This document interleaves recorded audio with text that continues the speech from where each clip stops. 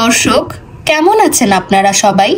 আশা করি ভালো আছেন এবং সুস্থ আছেন। দর্শক, তারকাদের জীবনীর আজকের পর্বে আপনাদের কাছে যার জীবনের গল্প বলব তিনি নব্বইয়ের দশকের টেলিভিশন পর্দায় এক অপরিহার্য নাম। প্রায় তিন দশকেরও বেশি সময় ধরে তিনি শিল্পের চর্চা করে চলেছেন।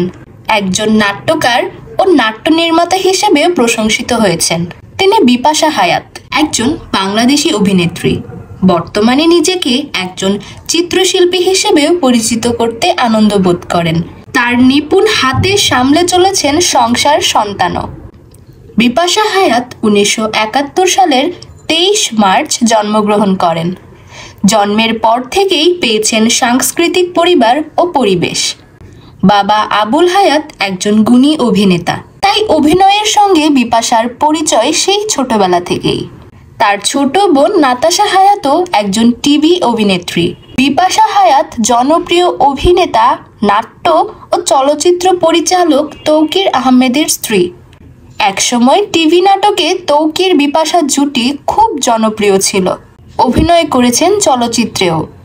সহশিল্পীর সঙ্গে বন্ধুত্ব থেকে প্রেম, ভালোবাসার সম্পর্ক তৈরি হয় তাদের মধ্যে। কেরিয়ার জীবনে তারা যেমন সফল তেমনি তারা সফল ব্যক্তিগত জীবনেও। দেখতে দেখতে বিবাহিত জীবনে একসঙ্গে ভালোবাসার দুই যুগ পার করেছেন জনপ্রিয় এ তারকা জুটি। উনিশশো নব্বই সাল থেকেই শিল্পকলার জগতে তার বিচরণ।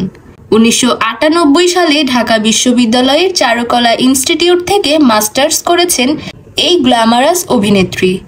পড়াশোনার পাশাপাশি অভিনয় করে দর্শকের ভালোবাসা পেয়েছেন। নব্বইয়ের দশকে জনপ্রিয় অনেক টিভি নাটকে অভিনয়ই তাকে বাংলাদেশের অন্যতম প্রধান অভিনেত্রী হিসেবে সুপরিচিত করেছে।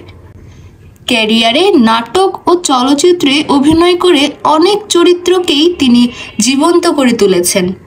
তার অর্জনের ঝুলিতে আছে জাতীয় চলচ্চিত্র পুরস্কারও। মঞ্চনাটকেও তিনি সমানভাবে সফল ছিলেন। কিন্তু বিয়ের পর মঞ্চনাটকে অভিনয় ছেড়ে দেন। তিনি দুটি মুক্তিযুদ্ধ সংক্রান্ত চলচ্চিত্রে অভিনয় করেছেন, আগুনের পরশমণি ও জয়যাত্রা। হুমায়ুন আহমেদের আগুনের পরশমণিতে অভিনয় করে এই পুরস্কার জয় করে নেন তিনি। এ ছবিতে তিনি মুক্তিযুদ্ধে ঢাকা শহরে আটকে পড়া এক তরুণীর চরিত্রে অভিনয় করেছেন। তৌকির আহমেদ পরিচালিত জয়যাত্রা চলচ্চিত্রে তার চরিত্র ভিন্ন ধরনের। এ ছবিতে পাকিস্তানি সেনাদের আক্রমণ থেকে বাঁচতে পলায়নরত এক মধ্যবয়স্কা নারীর চরিত্রে অভিনয় করেছেন, যে তার সন্তানকে হারিয়ে ফেলে। দুটি চলচ্চিত্রেই তার অভিনয় দর্শক ও সমালোচকদের কাছে প্রশংসিত ছিল।